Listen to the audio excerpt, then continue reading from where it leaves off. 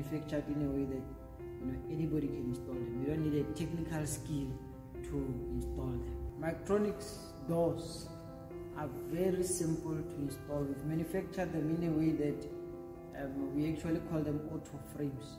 Our installers can install them so easily that even a layperson can install them. So our customers have an option to bring us to install their doors or they can get somebody else like a builder to install their doors because they're manufactured in a way that you know anybody can install them. You don't need a technical skill to install them. That's how easy it is to you know install a Maiktronix door.